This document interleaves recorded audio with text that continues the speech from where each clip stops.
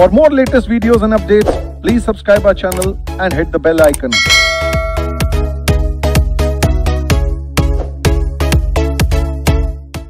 Hello champions कैसे हैं आप सब लोग? I hope you are in the best of your health and spirits तो दोस्तों आज आपके सीए फाउंडेशन के एग्ज़ाम्स खत्म हो गए हैं। आज सीए फाउंडेशन का लास्ट पेपर था। मुझे पूरी उम्मीद है आप लोगों ने अपना बेस्ट दिया होगा। I hope you have tried your best and God will save the rest तो दोस्तों I am here C Ashish Kalra I have been teaching from the past 24 years to C A C S aspirants और दोस्तों, मैं आप लोगों को यहाँ पर गाइड करने आया हूँ कि अब आपको क्या करना चाहिए। अब आपके एग्ज़ाम बोर हो चुके हैं। Now what you should do तो दोस्तों, अब आप में से कई लोग इस चीज़ को लेके सोच रहे होंगे कि यार, हम लोग अब सीए फाउंडेशन के एग्ज़ाम्स तो दे दिए, लेकिन अब हमें सीए इंटरमीडिएट में न्यू स्कीम लगेगी या ओल्ड स्कीम लगेगी? दोस्तों, इसी बात के जवाब के साथ मैं आप लोगों के पास आया हूँ। साथ में मैं आपको यह भी बताना चाह रहा हूँ कि ओल्ड स्कीम और न्यू स्कीम में क्या डिफरेंस है? क्या हुआ है? क्या हो गया? सीए इतना इजी बना दिया गया सीए कोर्स एज सच बाकी आप अपने कमेंट्स में भी बताइएगा कि आपके हिसाब से comparatively now CA is easier and faster to become अब आप बहुत जल्दी सीए बन पाएँगे। काफ़ी कम पीरियड में आप सीए बन पाएँगे। तो क्या चेंजेस है? What all changes are there और जो लोग भी सीए फाउंडेशन अभी क्लियर करेंगे, उनको न्यू स्कीम लगेगी? या जो लोग रह जाएँगे, उनको भी कंपल्सरी फाउंडेशन में भी न्यू स्कीम लगेगी? क्या सिनेरियो है? अभी बताते हैं। तो दोस्तों, आज ही मेरी दिन में अभी डिस्कशन हो रही थी one of the central council member of ICAI उनसे वन टू वन मेरा डिस्कशन चल रहा था तो मैं नाम यहाँ पर अभी नहीं ले रहा। उनसे मेरा डिस्कशन ये रहा, मैंने उनसे पूछा कि, सर, ये बताएँ न्यू स्कीम की एप्लीकेबिलिटी का बच्चों का क्या कहें? क्योंकि सी फाउंडेशन के आज पेपर खत्म हो रहे हैं। तो आप क्या कहेंगे? हम बच्चों को क्या बोलें कि वो न्यू स्कीम की तैयारी करें या ओल्ड स्कीम की? तो उन्होंने मुझे बोला कि, सर, ऐसा है। हमारी तरफ़ से ये चीज़ पास हो चुकी है कि पहले इंटरमीडिएट में आठ पेपर थे, अब जो है छह पेपर होने चाहिए। हमारी तरफ़ से प्रपोजल जा चुका है मिनिस्ट्री के पास। सिमिलरली फाइनल के भी एट पेपर्स की जगह सिक्स पेपर्स बच्चे को आके हमारे पास देने होंगे। दो जो है वो अपने घर से मल्टीपल चॉइस क्वेश्चन फॉर्मेट में देगा। वो अभी डिस्कस कर रहा हूँ मैं सारी चीज़ें। तो उन्होंने मुझे ये बात बोली आर्टिकलशिप भी तीन साल से दो साल कर दिए गए हैं। और ये चेंजेस जो है मिनिस्ट्री के पास गए और मिनिस्ट्री से जैसे ही हमारे पास आ जाएगा अप्रूवल वैसे ही हम लोगों ने डिटेल्स इसकी अनाउंस कर देनी है। वैसे स्कीम में क्या डिफरेंस है, वो मैं आप लोगों को बताता हूँ। फर्दर मैंने उनसे ये भी पूछा, भाई, आप मुझे बताएँ, आपकी क्या एक्सपेक्टेशन है? कि आप क्या सोचते हैं सर कब आएगा? कहते, देखिए सर हमारी तो पूरी उम्मीद यही है होप्स यही है कि बच्चों का जो रिज़ल्ट आएगा फाउंडेशन का, उससे पहले पहले हम लोग ये अनाउंस कर देंगे कि न्यू स्कीम आप लोगों के लिए एप्लीकेबल है। तो कीपिंग आर फिंगर्स क्रॉस्ड यही वाली चीज़ होने वाली है। सीए बहुत आसान हो रहा है। पहले क्या था, देखिए आईसीआई ने अपनी वेबसाइट पे कुछ ये पीपीटी आपके लिए डाल रखी है, अगर आप इस पीपीटी को देखेंगे। तो ये पीपीटी में अगर मैं आप लोगों को दिखाऊँ what exactly ICAI has given in regard to old scheme और न्यू स्कीम क्या उन्होंने क्या चीज़ किया है? इन्होंने ये पहली चीज़ तो ये बोला है कि देखो भाई, ऐसा है, पहले प्रॉब्लम क्या थी? कुछ एरियाज़ ऐसे थे जहाँ बच्चों को क्रैमिंग वगैरह करनी पड़ती थी, पूरे डिस्क्रिप्टिव डिस्क्रिप्टिव पेपर तो अब उन्होंने सभी पेपर्स प्रैक्टिकल थ्योरी सभी में थर्टी मार्क्स का मल्टीपल चॉइस क्वेश्चन कर दिया है। Thirty marks MCQ based questions आएँगे, चाहे वो थ्योरी हो, चाहे वो प्रैक्टिकल हो। और इसके अलावा, दोस्तों, अब जो है, पहले हमारे पहले जो हमारा सिस्टम था फाउंडेशन में चार पेपर जो आपको जैसे अभी आपने दिए हैं, उसमें सिक्स सब्जेक्ट्स थे। कौन कौन से सिक्स सब्जेक्ट्स थे आप देख सकते हैं? एक ये प्रिंसिपल्स प्रैक्टिस ऑफ़ अकाउंटिंग एक ये बिज़नेस लॉ नंबर एक. नंबर दो बिज़नेस कॉरेस्पॉन्डेंस एंड रिपोर्टिंग दूसरा, फिर business mathematical logical reasoning and statistics ये फिर business economics and then business commercial knowledge तो ये एक, ये एडिशनल पेपर ये एक एडिशनल पेपर अब आईसीआई ने क्या किया है? उन्होंने कहा है, नहीं जी, अब हम सिर्फ़ चार पेपर दे रहे हैं फाउंडेशन में। चार पेपर मींस चार पेपर कहने का मतलब आपका अकाउंटिंग अकाउंटिंग है बिज़नेस लॉ बिज़नेस लॉ है बीसी के हटा दिया है। साथ में फिर क्वांटिटेटिव एप्टीट्यूड या वही बिज़नेस मैथमेटिक्स लॉजिकल रीजनिंग और स्टैटिस्टिक्स और last but not the least business economics ये बीसी के यहाँ से हटाया और वहाँ से बिज़नेस कॉरेस्पॉन्डेंस एंड रिपोर्टिंग वहाँ से हटा दिया है। तो अल्टीमेटली जो है, ये आपका सिलेबस है न्यू कोर्स का। पहली बात, भगवान न करे किसी का रह भी जाए, आप लोगों को ओल्ड स्कीम और न्यू स्कीम पैरेलली चलाई जाएगी। जो भी ओल्ड स्कीम रजिस्टर्ड है स्टूडेंट्स ओल्ड स्कीम के अगर अटेम्प्ट फिर से देना चाहेंगे अगर तो उनको अलाउ किया जाता है। पास्ट का मेरा ये एक्सपीरियंस रहा है, मेरे सामने जो है, देखिए इट्स बिन नाउ 24 इयर्स की मैं पढ़ाता हूँ और मेरे सामने चार बार पहले ऑलरेडी 2002, 2007, 2012, 2017 मेरे सामने चार बार जो है सिलेबस एक्सेट्रा में चेंजेस आए हैं और न्यू स्कीम और ओल्ड स्कीम दोनों पैरेलली साथ चली हैं। तो ओल्ड स्कीम वाले स्टूडेंट्स जो लोग भी ओल्ड स्कीम में कंटिन्यू करना चाहेंगे फाउंडेशन भगवान न करे किसी का रह जाए तो वो लोग जो है they will be eligible to appear in this very pattern इसमें करने की ज़रूरत नहीं है। अच्छा फर्दर मोर फिर अब क्या है सिनेरियो ये चार पेपर्स जो हैं आपके फाउंडेशन के जो चार पेपर्स हैं चार पेपर्स हैं अभी right now two times in year हो रहे हैं। जैसे अगर अभी प्रेजेंट पैटर्न देखें तो आईसीआई जो है दो बार इस, इनका पेपर ले रहा है। जनरली अभी जून और दिसंबर का पैटर्न चल रहा है बट आगे प्रपोज है कि जल्द ही इसको तीन बार थ्री टाइम्स इन ईयर करेंगे। Very soon it will be three times in year right now it is two times in year यहाँ पर जो है आपके वही पार्टली सब्जेक्टिव और पार्टली ऑब्जेक्टिव है, वो सेम है। बस पॉइंट क्या है? यहाँ पर जो है, अब स्टूडेंट्स नाउ जितने भी स्टूडेंट्स हैं, जिन्होंने भी फाउंडेशन का एग्जामिनेशन दिया है अब वो कहते हैं, सर, जो हमारे इंटरमीडिएट में जो चेंजेस आ गए हैं इंटरमीडिएट में जो चेंजेस आ गए हैं, उन इंटरमीडिएट के चेंजेस की हम कैसे तैयारी करें? क्या हम लोग अभी रिज़ल्ट की वेट करें? या हम लोग अभी कुछ प्रिपरेशन करनी शुरू कर दें? तो दोस्तों, मैं बिल्कुल उसके बारे में बहुत ज़रूरी अभी अपना ओपिनियन बताने वाला हूँ, मेरा सजेशन बताने वाला हूँ, और बिल्कुल लगे रहिए, मेरे साथ जुड़े रहिए, और वीडियो को लाइक ज़रूर कर दीजिएगा और शेयर कीजिएगा अपने दोस्तों से ज़्यादा से ज़्यादा। तो दोस्तों, अब इस केस में क्या है? अब रजिस्ट्रेशन की वैलिडिटी पहले कोई रजिस्ट्रेशन की कोई रिस्ट्रिक्शन नहीं थी, अब चार साल from the date of registration है, उसके बाद फिर से आपको रजिस्ट्रेशन फ़ीस देनी पड़ेगी। यहाँ पर जो है फाउंडेशन में पहले 40 परसेंट इन ईच पेपर होता था और 50 परसेंट एग्रीगेट अब उन्होंने कहा है, नहीं जी 50 परसेंट नीच पेपर आपको करना पड़ेगा और नेगेटिव मार्किंग रहेगी।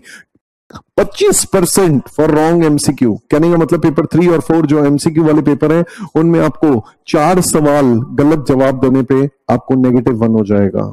तो यहाँ पर पहले 40 परसेंट फोर्टी जैसे अभी आप क्या कर सकते थे? दो पेपर में 40 40 ले आए, दो में 60 60 ले आए ग्रुप क्लियर यहाँ नहीं। आपको हर एक के मिनिमम 50 ज़रूर चाहिए होंगे। इसके अलावा फिर इंटरमीडिएट में पहले आपका अकाउंटिंग और एडवांस अकाउंटिंग पेपर होता था, अब कंबाइन करके, इनको कंबाइन करके एक ही एडवांस अकाउंटिंग का पेपर कर दिया गया है। कॉर्पोरेट एंड अदर लॉस था, अब अदर लॉस जो है कट कर दिए गए हैं, सिर्फ़ कॉर्पोरेट लॉस तो फाइनल में जो कंपनी लॉ का पोर्शन था, वो यहाँ पर इसमें मर्ज किया जा रहा है और अदर लॉज जो है यहाँ से हटाए जा रहे हैं। कॉस्ट मैनेजमेंट अकाउंटिंग का पेपर आपका एज इट इज़ जैसे ये आपने पहले था, ये भी अभी भी यही है। टैक्सेशन का पेपर भी जैसे पहले था, अभी भी यही है। ऑडिटिंग एंड इंश्योरेंस ऑडिटिंग के साथ कोड ऑफ़ एथिक्स भी जो है थोड़ा सा फाइनल में code of ethics professional ethics जो सीए को फॉलो करने चाहिए, उसके बारे में आता था तो उसका पोर्शन यहाँ पे डाल रहे हैं। और जैसा कि कुछ प्रपोजल है, उसमें कंपनी ऑडिट वाला पोर्शन जो है यहाँ से कट करके फिर कोड ऑफ़ एथिक्स जो है यहाँ डाला जा रहा है। बाकी देखते हैं latest see it's just thing that is possible कि ऑडिटिंग का जो कंपनी ऑडिट वाला पोर्शन है, वो आप सब लॉ वाले पेपर में पढ़ेंगे। पहले ईआईएस e का पेपर था ईआईएस e कट रहा है, सिर्फ़ स्ट्रेटेजिक मैनेजमेंट का पोर्शन आएगा इसमें, और एफएम और इकोनॉमिक्स फॉर फाइनेंस का पोर्शन था इकोनॉमिक्स कैंसिल होके एफएम का पोर्शन जो है आपको आएगा। तो ये 50 और 50 मार्क्स का इस तरीके का आपका पैटर्न ऑफ़ पेपर हो रहा है दोस्तों। This is how we are going to have your six papers what six papers number one advance accounting number two corporate laws number तीन कॉस्ट मैनेजमेंट अकाउंटिंग नंबर चार टैक्सेशन फिर auditing code of ethics और फिर F M and S तो दोस्तों, मुझसे कई हमारे अपने फाउंडेशन के स्टूडेंट्स एज वेल एज कई लोग अदरवाइज़ जागरूक लोग ये जानना चाह रहे थे कि, सर, अब हम लोग रिज़ल्ट की वेट करें न्यू स्कीम की वेट करें, क्या करें, क्या ना करें, ये कैसी मुश्किल है? तो दोस्तों, मैं आपको ये बताना चाहूँगा, देखिए, ऐसा है, ये सब्जेक्ट सेम है। ये सब्जेक्ट सेम है और ये सब्जेक्ट मेरा है तो मैं मेरे सब्जेक्ट के बारे में ज़रूर बोलना चाहूँगा। मैंने अभी जस्ट डे बिफोर यस्टरडे इसका जस्ट लेटेस्ट बैच खत्म किया है। तो आप अगर सेल्फ स्टडी करना चाह रहे हैं गूगल ड्राइव के थ्रू करना चाह रहे हैं तो आप गूगल ड्राइव ले सकते हैं। इसकी लेटेस्ट बैच जो अभी खत्म हुआ है और आप लोग जब एडमिशन लें तो उस टाइम पे आप जो है एडमिशन लेते समय हमारे को इन्फॉर्म कर दें कि, सर, हमने ये वाली चीज़ जिन्होंने भी गूगल ड्राइव से पढ़ना है, जिन्होंने फेस टू फेस पढ़ना है फेब्रवरी में हम लोग फेस टू फेस क्लासेस लेंगे ग्रुप वन की। ग्रुप वन की face to face classes in February and May में ग्रुप टू हम आपको दोनों ग्रुप की face to face classes provide कराएँगे दिल्ली में। साथ में यही क्लासेस लाइव वर्चुअल भी देंगे।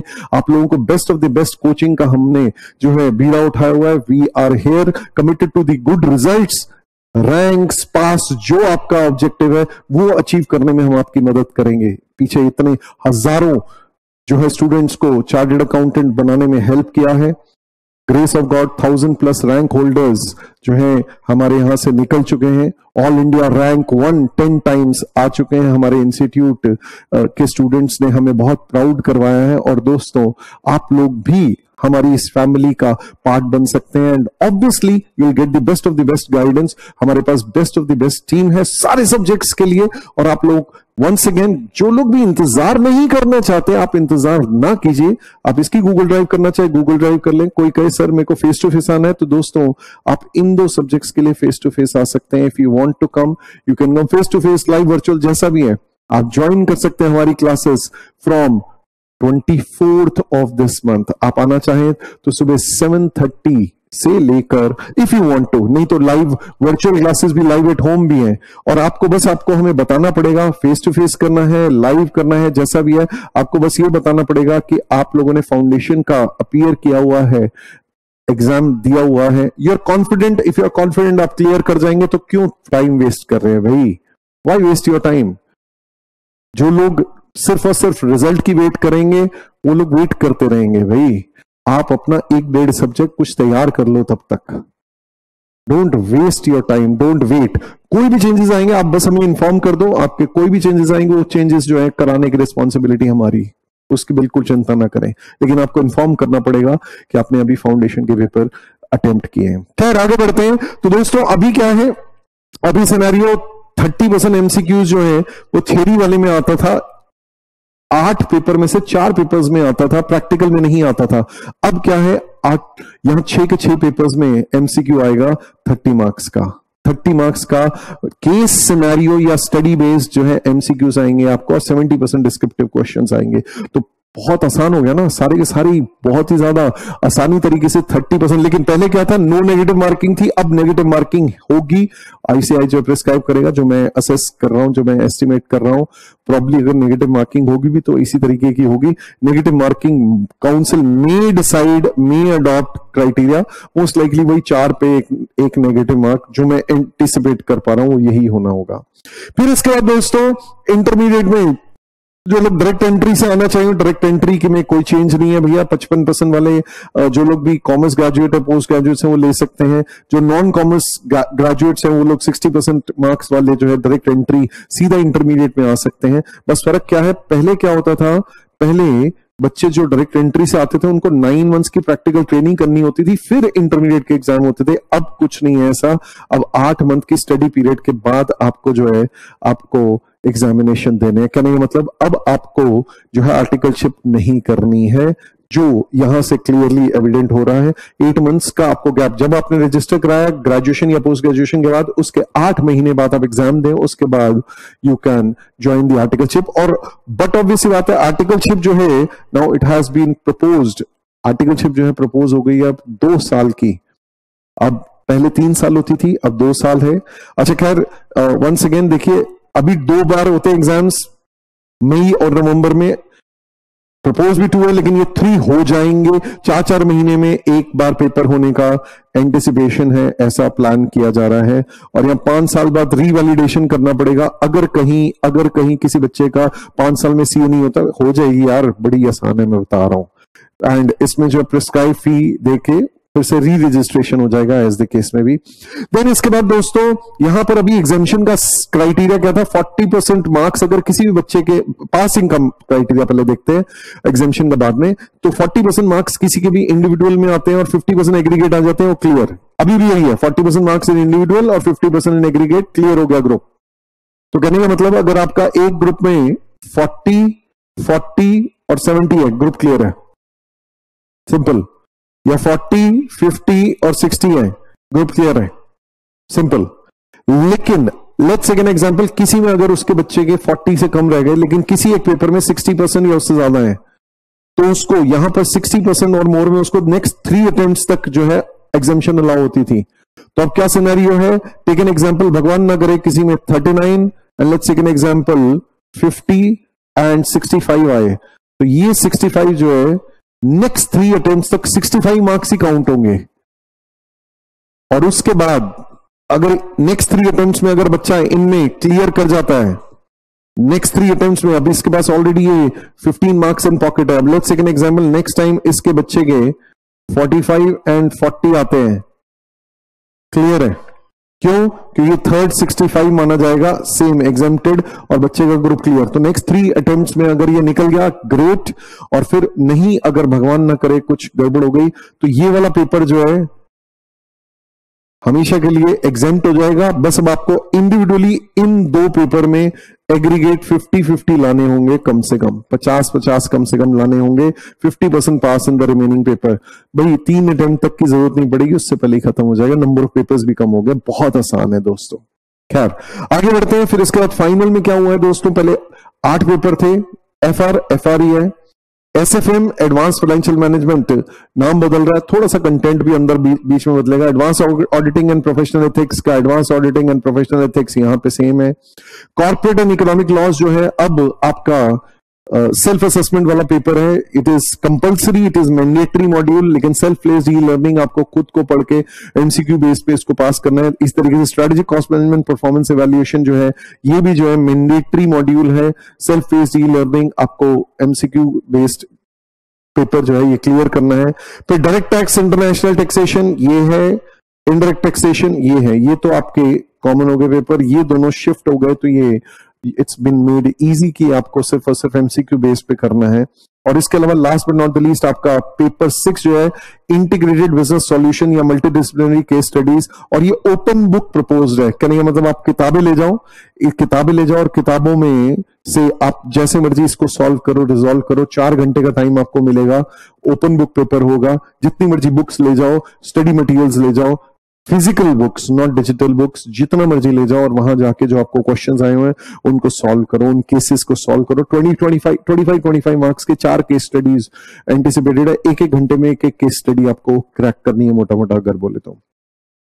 तो गाइज़ अभी eight papers two groups of four papers each थे। अब सिक्स पेपर्स हो जाएँगे two group of three papers each अब इस केस में अगेन वही थर्टी परसेंट जो है सिनेरियो बेस्ड एमसीक्यू छह के छह पेपर में आपको होंगे और सेवेंटी परसेंट डिस्क्रिप्टिव होगा। सारे के सारे पेपर्स में इसी तरह का मैकेनिज्म होगा और एमसीक्यूज में नेगेटिव मार्किंग जो है, हो सकती है, जो कि एंटिसिपेट कर सकते हैं। अभी सिर्फ़ थ्योरी में थी।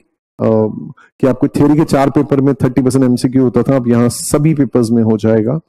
फिर गाइज़ इसके अलावा जो है, आप क्या कर सकते हैं, फिर आपको जैसे यहाँ पर आर्टिकलशिप करनी होती थी, ढाई साल की प्रैक्टिकल ट्रेनिंग करनी होती थी एडवांस आईटीटी और एमसीएस ट्रेनिंग ये सारी चीज़ें करनी होती थी।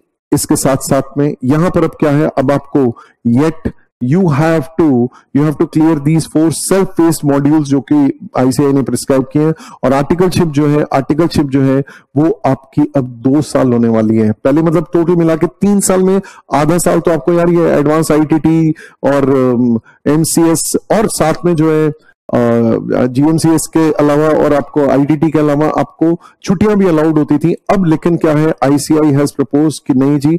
हाँ ठीक है अभी पेपर हम दो बार ही ले रहे हैं। लेकिन आगे चल के इसको तीन बार कर देंगे। ठीक है जी? और साथ में पासिंग का मैकेनिज्म वही है सेम भाई फोर्टी परसेंट इंडिविजुअली आप लेके आओ और एग्रीगेट में फिफ्टी परसेंट कर लो ग्रेट है। Twenty five percent negative marking होगी एमसीक्यू में, ये प्रपोज है एज द केस में भी। और वही सेम मैकेनिज्म एग्जामेशन का 60 परसेंट पे आपका एग्ज़ाम है। 60 एंड अबव में वो नेक्स्ट थ्री अटेम्प्ट्स में 60 मार्क्स एंड अबव ही माना जाएगा। अगर कम आए बच्चे के मार्क्स नेक्स्ट थ्री अटेम्प्ट में, अगर उसका लेट से वो फिर बाकी पेपर नहीं क्लियर हुए तो ये पेपर एग्ज़ाम हो जाएगा परमानेंटली पास मान के उसको बच्चे को जो है अलाउ कर दिया जाएगा कि अब ये पेपर नहीं देना, बाकी में सिर्फ़ fifty fifty percent remaining papers में लेके आओ। और इसके अलावा दोस्तों, अब ये आपको जो self based e learning sets आपको जो देने हैं, ये इसके पेपर आईसीआई ने दो तो कंपलसरी है दैट इज़ से economic laws and strategic cost management and performance evaluation ये दो तो कंपलसरी हैं, और दो जो हैं, वो एज द केस में भी or one is to be chosen from the options available specialisation module और multidisciplinary module one is to be chosen from the options तो ये सेट ए ये तो कंपलसरी है. सेट ए में आप देख सकते हैं कि कॉर्पोरेट लॉज जो अदर लॉज है, वो उसमें क्या क्या आ रहा है? फेमा आ रहा है insolvency bank code money laundering competition act securities and reconstruction of financial assets enforcement security interest act real estate regulation and RERA जैसे हम लोग कहते हैं, फिर उसके बाद प्रोहिबिशन ऑफ़ बिनामी प्रॉपर्टी ये बहुत ज़रूरी है एक चार्टेड अकाउंटेंट के लिए जानना प्रैक्टिकली इनके बारे में। बट हाँ ऑब्वियसली बाय हार्ट प्रोविज़न सारे दिल में नहीं होने चाहिए, ऐसा ज़रूरी नहीं है। तो इसीलिए ये सॉर्ट ऑफ़ ओपन बुक की तरह ही हो गया आपका कि आपको सेल्फ असेस करके चलना है और एमसीक्यू बेस्ड पेपर देने हैं। दूसरा एस का भी इसी तरीके का जो है आपको you have to give MCQ based paper लेकिन लास्ट बट नॉट लीस्ट दोस्तों, ये इनमें से आपको you have to choose one specialisation risk management then उसके बाद integrated and sustainable reporting government accounting public finance introduction of digital ecosystem and transformation international taxation arbitration mediation conciliation forensic audit then financial services and capital market valuation for जिसमें भी आपने specialise करना होगा forex and treasury management इसी तरीके से इनमें से भी किसी एक में आपको चूज़ करके उसको देना होगा। चूज़ एनी वन मॉड्यूल तो ये आप करके फिर जो है आपका थ्री इयर्स की आर्टिकलशिप से अब दो साल की आर्टिकलशिप हो रही है। बस पॉइंट क्या है? आपको सिर्फ़ और सिर्फ़ जो है बारह दिन की छुट्टी दी जाएगी, एक साल में करने मतलब एक महीने की एक जैसे कैजुअल लीव होती है जॉब में, वैसे ही आपको दी जाएगी। और साथ में फिर आपने एज द केस में ट्वेल्व लीव्स इन ईयर करने के बाद, आपको क्या करना है? कोई बच्चा चाहे तो इंडस्ट्रियल ट्रेनिंग के लिए भी जा सकता है, अगर जाना चाहे सेकेंड ईयर में if they want to go they can do this industrial training in the prescribe company जो कि आईसीआई ने अलाउ की हुई है। और जो लोग भी प्रैक्टिस करना चाहते हैं सीए क्वालिफाई करने के बाद चार्टेड अकाउंटेंसी का कोर्स क्वालिफाई करने के बाद, उन्होंने जैसे फाइनल के पेपर दे दिए, दो साल की आर्टिकलशिप हो गई, उनका सीए फाइनल क्लियर हो गया, और फिर उसके बाद वो कहते हैं, मेरे को प्रैक्टिस करनी है। They desire to obtain practice at any point of time तो उन्हें एक साल क्वालिफाई होने के बाद सीए फॉर्म में मैंडेटरली काम करना पड़ेगा।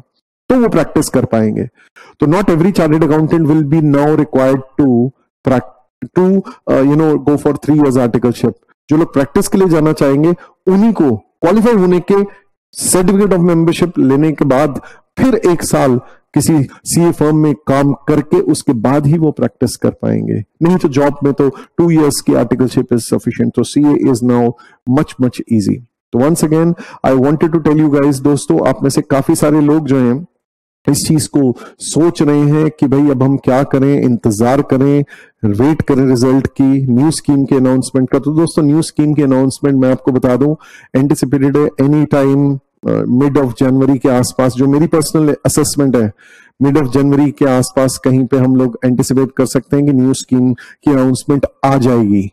कि भाई न्यू स्कीम एप्लीकेबल हो रही है, उसका डिटेल सिलेबस ये है, और उनके स्टडी मटेरियल जो है anywhere in February maybe mid of Feb तक होपफुली आ जाएँगे। तो लेकिन दोस्तों, तब तक का इंतज़ार करें, कोई सेंस नहीं है। जो सब्जेक्ट कॉमन है आपके, जैसा मैंने आपको बताया कॉस्ट मैनेजमेंट अकाउंटिंग मेरा सब्जेक्ट है। आप लोग लगाइए, बस हमें इन्फॉर्म कर दीजिए पहली। ठीक है जी? तो जो भी चेंजेस होंगे, वो चेंज वाला पोर्शन एडिशनल आपको प्रोवाइड कर दिया जाएगा। इस तरीके से एफएम वाला पोर्शन आप पढ़ सकते हैं अभी। मोर और लेस तो भाई फाइनेंशियल मैनेजमेंट तो सब्जेक्ट तो यही है। कोई टॉपिक अगर ऐड होगा I I handle it I tell you अभी ऑलरेडी सिक्सटी मार्क्स का एफ़ है। फिफ्टी का होने वाला है। दस का कटेगा ही भाई। हैड थोड़ना होगा। तो अभी just face to face batch अभी फ्रेश जो face to face batch just अभी शुरू हुआ। जस्ट उसका जो है तीन दिन बाद मैं और बच्चों को ले सकता हूँ तो आप लोग आना चाहें तो उसमें आ सकते हैं। या उसकी भी गूगल ड्राइव जो है आप लोगों को अवेलेबल होनी शुरू हो चुकी है। जितने लेक्चर अभी फ्यू लेक्चर रिकॉर्ड हुए उनकी गूगल ड्राइव आपको मिलनी शुरू हो रही है। तो दोस्तों, आप लोग अपना टाइम वेस्ट ना करें। थोड़ा सा रेस्ट करें एंजॉय करें, थोड़ा सा समय है बट ऑब्वियसली बात है दो, चार दिन हफ़्ता, और उसके बाद पढ़ाई करना शुरू करें। यू सी अर्ली बर्ड को हमेशा से बेनिफिट मिलता है तो मूव अर्ली इंतज़ार ना करें टाइम वेस्ट ना करें वेट ना करें। जो कॉमन सब्जेक्ट्स हैं, वो आप करें। जैसे जो मेरे सब्जेक्ट्स हैं, मैं उसके लिए आपको कह रहा हूँ ऑडिटिंग करना चाहते हैं ऑडिटिंग करें। आप हमें पहले बता दीजिए। और जो भी चेंजेस होंगे, वो चेंजेस वाला पोर्शन जो आप हम आपको बाद में दिला देंगे। No need to worry at all तो मेरी तरफ़ से आप सब लोगों को आपके रिज़ल्ट के लिए बेस्ट विशेष हैं। ठीक है दोस्तों, आप लोग अपना बेस्ट दीजिए और आपको बेस्ट मिलेगा। Take care God bless you all